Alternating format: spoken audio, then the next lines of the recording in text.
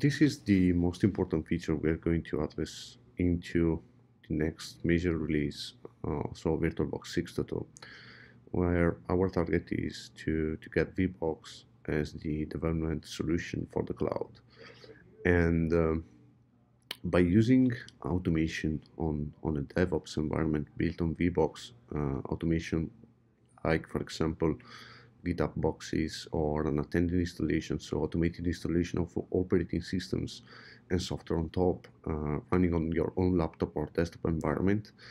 Uh, by VBox, um, we are now we are we have now the option to to upload those images to to OCI directly to OCI and get the same environment running on on production systems for for OCI.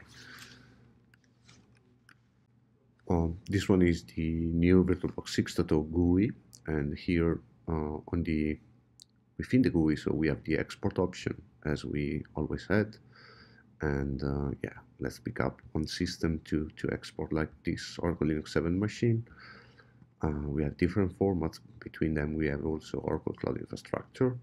Here I can choose which profile, so which tenancy, which configuration running on OCI uh, will be the destination of my VM. Now the VBox is connecting to, to OCI using Web Services API.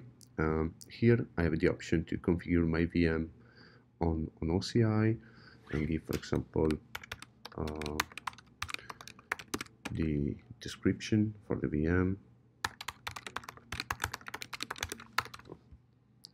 I can choose on which bucket the image will be saved, the configuration, so the shape for my VM, the size of the virtual disks, on which virtual cloud network, the option to get a public IP address or not, and, and obviously also the high availability domain uh, for, for my VM.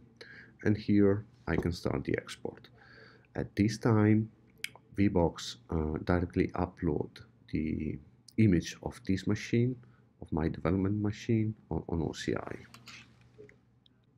Uh, the export to OCI is divided into two main phases. The first one is the real upload of the images, and the second one is the instance creation and, and startup on, on OCI.